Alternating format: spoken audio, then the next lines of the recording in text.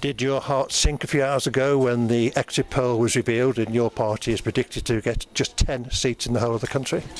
Well, it certainly was a surprise, but then um, 2010 was a surprise. Uh, I felt in 2010 we'd make an enormous stride forward, but it seems that uh, when it comes to real elections, um, hopes are often dashed for reasons that are often quite hard to understand and fathom. You've got two speeches written tonight, John. One of you win and one of you lose. Uh, every time I come to the count, I've got two speeches written. Uh, can I thank uh, my, my team, my supporters, people of Southport, and all you good people who've been hanging around here for quite some time. Um, I, I, stand here with a, more than a degree of relief on what is not a very good night for the Liberal Democrats.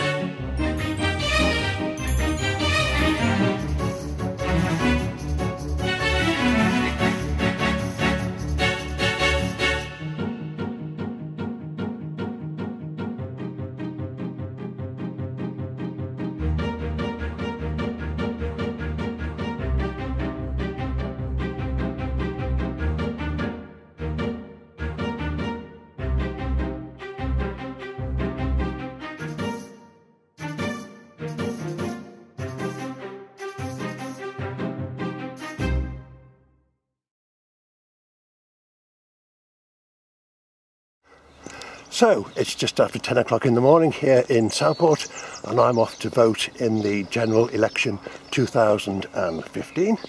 The seat is currently held by the Liberal Democrats. John Pugh has a majority of just over 6,000. Will he hold on to that? Will he hold on to his seat? What about Damien Moore, the Conservative candidate, the youngest candidate in the race? Then there's Liz Savage for Labour, UKIP, Terry Durrance, will this be third time lucky for him? And then we have Jacqueline Barlow for the Southport Party and Lawrence Rankin for the Green Party. Good morning, gents. Good morning. Yeah.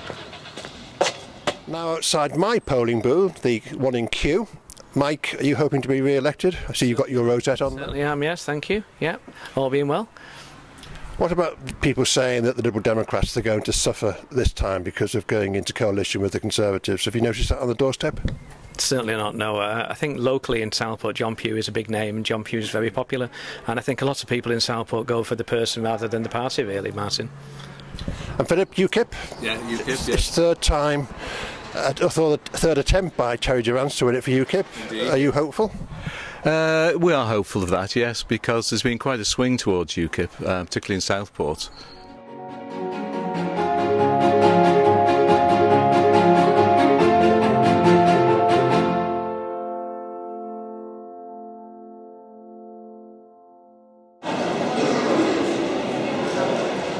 The 10 o'clock exit poll shows that the Lib Dems could go down to 10 in the whole of the UK. You must be disappointed at that. I say let's wait until the let's wait until the seats are counted. We can't second guess anything. Um, you know, we're, we're just waiting to get the results in. If it does go down to 10, would you be disappointed? Now, come on, Martin. That is, uh, we would we would all be very very disappointed if seats were won on the amount of literature and the amount of work that our volunteers and our candidates put in, then we'd be sweeping to a majority. However, it doesn't work that way. So, as I say, we'll wait and see, and, and we'll keep our fingers crossed. Any idea what time we're going to get this result? Not quick enough for me. I want it to come really quick. I don't want it to come at all. they reckon three o'clock. Another four hours. Listen, what's four hours when you've been up since four? Speak to you later. Cheers. Bye bye now. How do you feel? I feel pretty good with regard to optimism. I feel dead flat with regards to my energy levels at the present time. I've completely worn myself out. Uh, I would say during the whole of this year, really, it's been the longest campaign I've ever known, which is obviously something we get with regards to the fixed term parliaments. But it seems to have gone on and on and on. And uh, but no, with with regard to optimism, I, I, I think we might well come out of this pretty well tonight. I think we might. We, we're, we're certainly in with a chance of winning. If we don't win, I think we'll certainly come second. You're confidently predicting either first or second place for UKIP. Confidently, Martin. Confidently. And if you're third? I won't be third. I'll be first or second. I'll speak to you later, Terry. Okay. Nice to speak to you, Martin. Uh, like me, you're an old hand at elections, especially general elections. Just come past 11 o'clock here in the dunes. How, how do you think it's going? I think we've won. So an hour after the vote's closed, you can predict a victory for the Lib Dems. Well, I can tell you that on a Tory a Tory box, the Lib, that John Pugh has won, and that's good enough. And now there may be some other strange boxes where people are voting in a very strange way, but I think that's good enough for me. What about the, the exit poll that the BBC revealed at 10 o'clock, where your party goes down to 10 MPs in the whole of the country? The BBC didn't reveal the exit poll. The BBC revealed a projection from the exit poll, and it, it seems to be on a national swing. Garbage in, garbage out. But it was very accurate last time. I say last time was very different. The, all the evidence is Mr. Ashcroft, in particular, Lord Ashcroft, he calls himself, um, says that it's going to be very different, and I think that's going to be the case. So you're confidently predicting John Pugh will win here in Southport. He got a 6,000 plus majority last time. What do you reckon the majority will be this time? Um, less than half of that. And who do you reckon will come second to John? The Conservative. Not UKIP? No. Who'll come third then? UKIP. Fourth? Labour. You may as well finish it off. No, I haven't. Fifth and sixth? I haven't gone beyond that. I haven't looked. So I'm not going to make any predictions beyond that. For Labour, how's it going? Um, it's going quite well. Um, we certainly think that we've increased our um, share of the vote from 2010. We're hoping to have increased our vote from 2005 as well. So give me some numbers. What, what do you think the result will be? Um, I think it's going to be quite um, close between the Conservatives and Liberal Democrats. Um, I think it's always been a much closer seat than anyone's thought. Um, possibly for us, round about 20%. Apart from that, I don't really know because I've only just arrived. Would you be disappointed if you came fourth? Um, if I came fourth, I'd be slightly disappointed. But, you know, as long as we've increased our vote share, then we've done a good job in Southport. And the campaign as a whole, have you enjoyed it? Yeah, the campaign's been absolutely wonderful. You know, we've got so many more people um, energised within the local Labour Party, so it bodes well for the future. Right, I'll speak to you after the results announced. All right, thank you.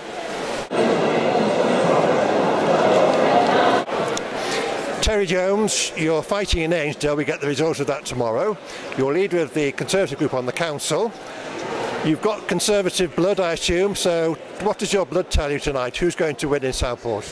The blood tells me that we're going to win tonight. It's going to be very close, but it's time for a change in Southport, and people want a change, and we will give the change they want, and they're coming out to vote for us today. Give me your prediction. By how many will Damien win? I think Damien will win by a couple of hundred. He'll be that, that, close. That close, yeah. Because John at the moment has a 6,000 plus majority. there were in 2010 there was many issues why John had that majority. Southport Conservatives had an infighting. We had bad press. There was a lot of issues. We've come out. We've cleaned up. We're on the. We've changed our attitude, and we're there for the people now, not ourselves. And Ainsdale, how do you reckon he'll do in that tomorrow? From what I've picked up today, I think I should hold my seat. I hope I hold my seat. I've tried my best. That's all I can do.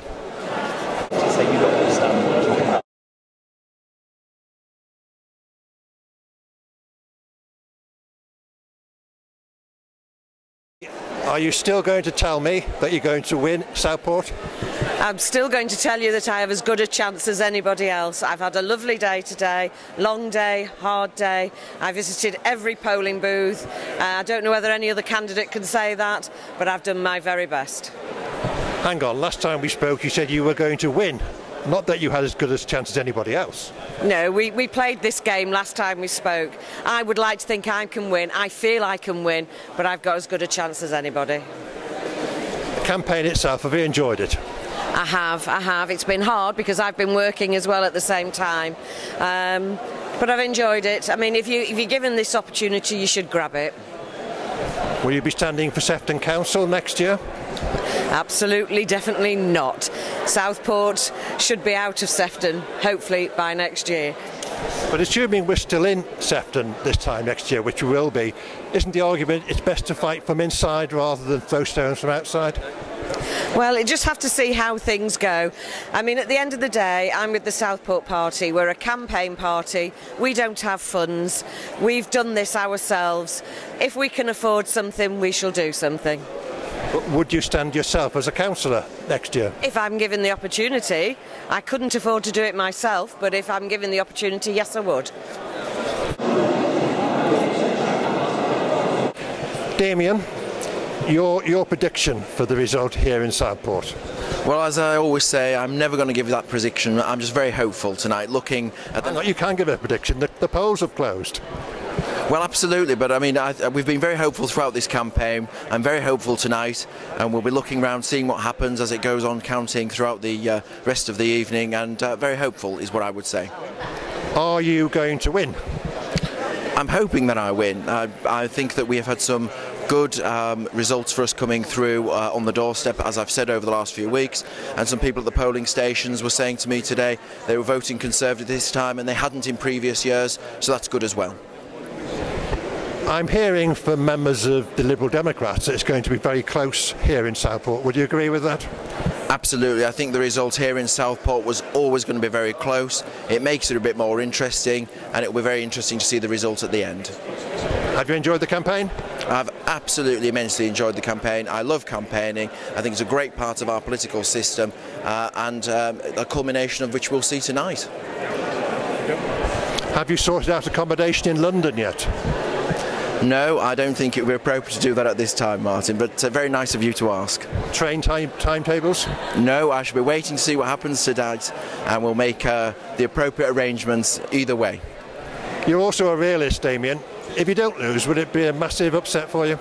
So if you don't lose, or if you don't win, would it be a massive upset for you? Uh, of course, I would like to uh, win this evening. I've put a lot of work into this. I think I'll be a great MP for Southport. But if I don't, it's not about that. It's about getting, you're picking yourself up and getting on with the job. I'll speak to you later. Thank you.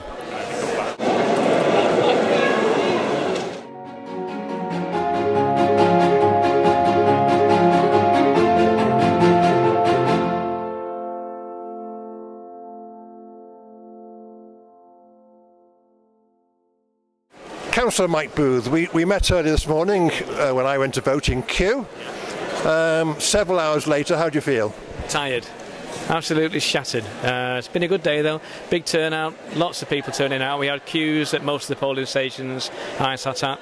Um, lots of people seem to be voting for the first time, Martin. We seem to have quite a few people, should we say middle-aged people, who've either not voted before or not voted for maybe 20 or 30 years, which is interesting. And obviously we don't know which way they're going with the vote. Well, I'm going to ask you now to predict the result.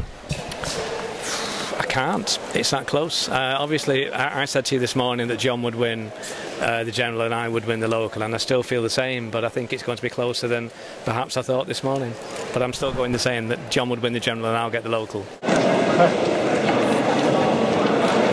Right, Tom Glover, um, a veteran Conservative politician here in Southport. How do you reckon it's going? Well, I presume it's gone very well. It's quite a high poll, I understand, from what they tell me, and it, uh, it's good that people are turning out to vote this time. You know, we always worry that it'll be a low poll and it's not a clear reflection of what their intentions are. But uh, this time it's been okay. And what's your prediction? Well, difficult to say. I've just been listening to the national news where the prediction of the uh, exit poll is that the Liberals are going to lose a lot of seats. In, they're going to go down to 10 in the whole country. In the country. Now, whether that'll affect Southport or not, I don't know. And your party, the Conservatives, gained the most seats, but not the majority? No, not quite the majority on the exit poll. I hope perhaps that is a little bit incorrect and we get a few more um, uh, MPs elected.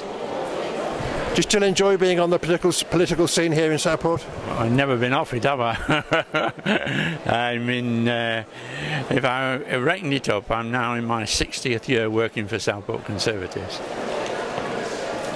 You still enjoy it? Oh well, yes, yes, and. Uh, my wife, of course, would have been here tonight, but she injured herself canvassing about four weeks ago, and unfortunately, she's been in the car with me today, but not got out. And uh, but she's feeling a bit tired tonight, so I've left her at home. She actually is the Conservative Party's uh, agent for the candidate. How's your campaign gone? Well, things gone pretty well. I mean, it's been a very long day today, but uh, that's the way these things go. I mean, we've been getting a lot of uh, positive response. People, uh, you know, wishing us well, and uh, I think we've had a really good campaign. Can you predict for me the result? I can't predict the result. I must admit. I think it's going to be quite close. I think there's uh, there's a, a, a. Will the Green Party? Will you be near the top or the bottom? I'll predict we'll be in the middle. How about that? Middle of the road. John Pugh to win, do you reckon? I really don't know. I probably would have thought John Pugh was fairly safe at the beginning of this uh, campaign, but I think there's been quite strong campaigns both by the Tories and by Labour, in fact. So I don't know. And are you pleased with the impact the Green Party nationally have had on this campaign? Very much so. I think the Green Party have really come through as uh, as a genuine, um, you know, one of the big players in in this election campaign. It's just a pity that because we're still stuck with our first past the post election system, that that's probably not going to be reflected in seats in Westminster. But that's something we need to really push for with a you know sort of general groundswell of public opinion, uh, rather than necessarily the seats in the House and the campaign in Southport finally. Have you enjoyed being a candidate? Yes, I have. It's been a really interesting experience. It's been uh, good to get involved in the cut and thrust of some of the debates and some of the interviews and some of the media. Uh, yeah, it's been a really enjoyable experience. You must have enjoyed KGV the other week. KGV was great. It was fantastic to see so many young people there and, and, such a genuine interest in what was going on and some really interesting questions, uh, a little bit different from some of the others that we've faced. Right, Tim from southportgb.com, Roving Eye. What's your prediction for tonight's result? Uh, I think it's going to be very close. Uh, at the moment, I'll have to plump for John Pugh. And who do you reckon will be second in second place? I think that the uh, Damien is it Damien Moore? I think he'll come second, and I think UKIP will probably come third, with Liz Savage is it in fourth place. The Greens in fifth, and the Southport Party sixth. So you know all about politics. You know the political scene in Southport. I don't really. I've just been to so many of these meetings that uh, I've got used to all the names. But um, hopefully, the best man will win or woman. From a reporting point of view, have you found this campaign in Southport interesting? Absolutely not. Boring. Same old, same old, all the time. And, um, you know, soon it's over, the better we can all get on with life again. But do you agree with me that the KGV one, that was the best out of all the hustings in Southport? The, the students certainly got stuck into the, the politicians, as you would have expected, yeah. They're not frightened of asking questions. Margaret Carney, Chief Executive of the Council. From your perspective as returning officer, how do you think tonight's going? Um, tonight's going according to plan. We've uh, finished the verification, we've started the count um, in line with the expectations that we had. Um, it's always quite tricky with a combined uh, election. You've got the two ballot, ballot papers in the same box, so it will always take a bit longer than it would do with a normal local election. But I expect, anticipate we might be finished for about five o'clock this morning. Five o'clock.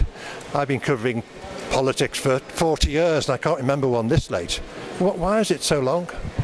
Um, I I don't think that's too long. I remember the last general election. I think I left Crosby Town Hall at that election after six o'clock. So I just think it's the way things are. We have to be accurate. Uh, we have to do things properly. Um, you know, there's a lot riding on these elections, so we want to make sure that we're, we're doing it properly and we won't skimp on the time it takes to do that. If we're finished before five o'clock, then there'll be a lot more happy people all six candidates I've spoken to tonight said they've been very happy with the way the campaign, political campaign's been run in Southport. Are you happy with the way everything's gone? From your point of view? Uh, in terms of the administration of the election, yes, I am. Um, I've been out to a number of the polling stations today. Uh, lots of the polling stations have been busy, uh, but again, having spoken to a number of people attending that, they've been extremely happy.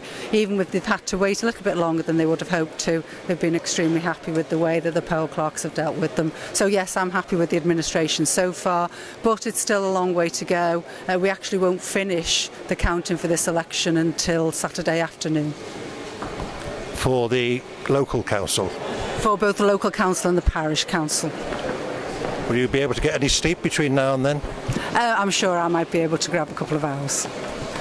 Margaret Carney, thank you very much. Thank you. Right, John Pugh, coming up to one o'clock in the morning. Um, how hopeful are you? Well, I'm always hopeful. Uh, there's a good Liberal Democrat vote in town, and I hope it's come out tonight, or I hope it came out yesterday, actually. Uh, the campaign itself, have you enjoyed it? How's it been? Uh, candidates, particularly defending candidates, never particularly enjoy uh, campaigns. That being said, this has been probably one of the most civilised campaigns I've engaged in uh, in Southport. I think the candidates have managed to get through it all without uh, falling out with one another or forming a lifelong enmity. Um, and I think that's a credit to all of them. Um, I think, as you were in the hustings, debate's been civilised um, and uh, at times quite thoughtful. Um, that's not actually been reflected nationally in terms of the debates, uh, but I think uh, people in Southport can take credit with the fact that uh, they have thoughtfully digested the issues, considered the issues, and the candidates have put their points across, I think, uh, without acrimony and politely. Did your heart sink a few hours ago when the exit poll was revealed and your party is predicted to get just 10 seats in the whole of the country? Well, it certainly was a surprise, but then um, 2010 was a surprise. Uh, I felt in 2010 we'd make an enormous stride forward, but it seems that uh, when it comes to real elections, um, hopes are often dashed for reasons that are often quite hard to understand and fathom. But if they're predicting only 10 in the country, that must put you, Southport, your seat at risk. Well, yes, it put all seats at risk, I would have thought. Um, that being said, I, I, I, mean, there are a lot of people more, far more exports in I'm an expert in polling than myself, who are casting doubt on this particular exit poll. Uh, the Labour Party, for example, on the basis of their own analysis of where they're getting their vote, uh, are casting doubt on it. The Scottish Nationalists are, and so on. So we'll have to see as the night goes on uh, exactly what transpires. And finally, if that prediction, the exit poll prediction, does come true, do you think Nick Clegg can remain as leader? Um, I think his position will be difficult. Uh, he came into power uh, with the express ambition of doubling the number of MPs. And if you move from 50 odd to 10, that's not substantial progress, is it? He should be replaced. Um, I think he should consider whether he is quite the right person to take the Liberal Democrats from that situation. If that situation arises, if on the other hand we end up, as the YouGov poll suggests, with 31, that's a completely different scenario. And finally, finally, have you got two speeches written tonight, John? One if you win and one if you lose. Uh, every time I come to the count, I've got two speeches written. I'll speak to you later when the results are out. Okay. Tony, just gone three o'clock in the morning. When I arrived four hours ago, you said John John will win. So tell me your prediction now. John will win with a reduced majority. I would say a considerably reduced majority. You said last time half his majority, which you take it down to 3,000. So what's your prediction now? Well, I don't know. It's going to be less than that, but not. I don't think that much less. We'll see. We're, we're likely to do rather well here compared with what the Lib Dems have done elsewhere in the country. What have you heard about the national scene? Well, we've we've heard that um, some of the London seats are very close, and maybe, maybe you know they, they haven't been declared yet. They may go for recounts. So that's disappointing. Vince Cable, touch and go apparently. We shall see. So this um, exit poll prediction of 10 MPs for Lib Dems, do you reckon that's going to come true? No. How many MPs? That I don't know, but I, I just thought 10 was, was, was ludicrous. Um, I think Southport is something like the 22nd best Lib Dem seat. So if we hold this, I can't say everybody above us will win. I can't say everyone below us will lose. But, uh, you know, it seems to be there and thereabouts. So even at this late stage, if I was a betting man, put money on John. Yes, yes, but I don't bet. I've only bet three times in my life and I've won rather a lot of money each time. At the Grand National? No, it was always on politics. Have you got any money on this on the result tonight? No, I decided to give up betting completely many years ago. Tony, thank you very much. Okay. I have a declaration of results of poll for the Southport Parliament member. I, Jill Cool, being the Deputy Returning Officer at the above election, do hereby declare and give notice that the number of votes recorded for each candidate at the said election is as follows. Barlow, Jacqueline Ann, the Southport Party, 992.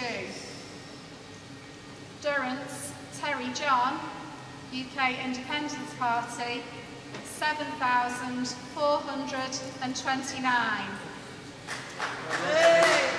Moore, Damien, the Conservative Party candidate, 12,330.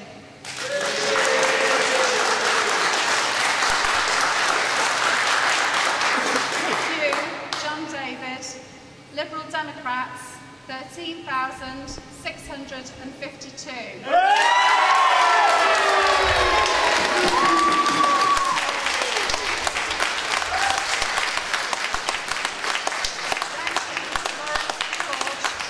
Party, 1,230. Savage, Elizabeth Catherine, Labour Party, 8,468. The number of ballot papers rejected as follows was 18 for voting for more than one candidate and 153 for voting unmarked or wholly void for uncertainty.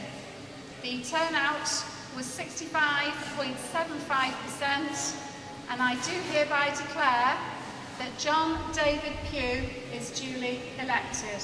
Thank you.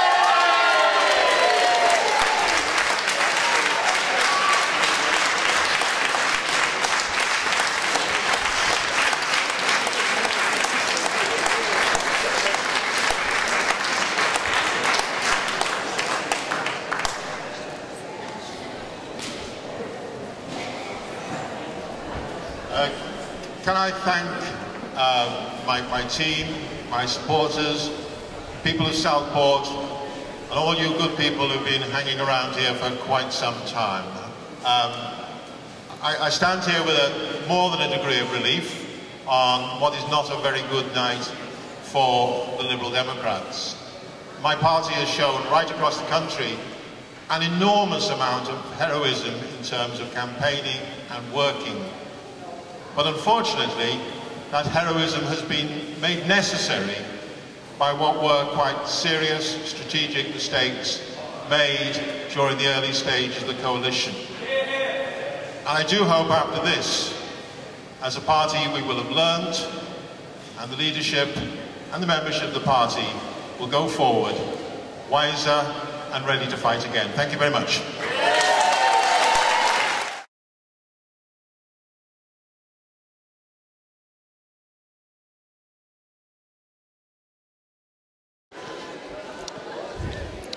John, your reaction? Um, as I say, element of relief on what is not a very good night for the Liberal Democrats.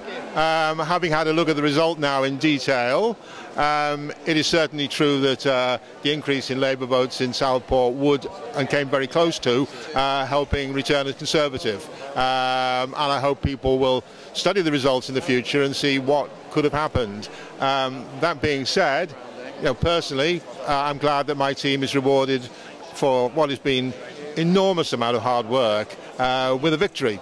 And of course, consolations to the other parties who put in an enormous amount of work and not got the result. Uh, but, you know, I think Liberal Democrats are entitled to some, some good news on the night. If you go down to 10, as some polls are suggesting, will you put yourself forward as the leader, leader of your party? I'm not, just at this moment, looking for any more stress in my life than I've currently got. Who would you like to see? Tim Farron, Norman Lamb? I think they're in the, I know, I haven't actually seen who's returned, but amongst those I expect to see returned, there are some eminently talented and able people who at some day, I'm sure, will play a leadership role in the party. Who? Well, uh, you, have mentioned three of them yourself, actually. Two.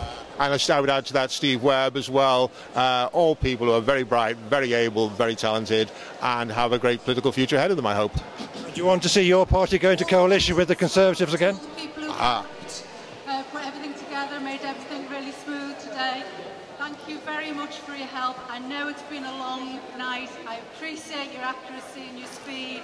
Thank you very much. Hope to see you again at the next count. Thank you. So sorry, Martin. I forgot, I forgot what, question, what question was. Who should be the leader of your party? Who should be, well, we have, we have a leader at the moment. We'll go back and we'll deliberate in that. But I think you asked me particularly about coalition. I coalition, yes. It was going to be a future coalition of any shape or form, it cannot resemble this existing coalition because the coalition, as I repeatedly say, tediously say, was built upon a model of tribal politics where we were just seen as having, you know, as we're left the middle ground and joined the Tory tribe. And I think it's not in the interest of Liberal Democrats, or for that matter, in the interest of sensible politics, to have it dominated by tribalism. I mean, I spoke to a woman this morning, uh, and she said, "Oh, I'm not voting for you, sir, because you went in with the Conservatives." And I said, "It's not a matter of who you're in; it's a matter of what a government does."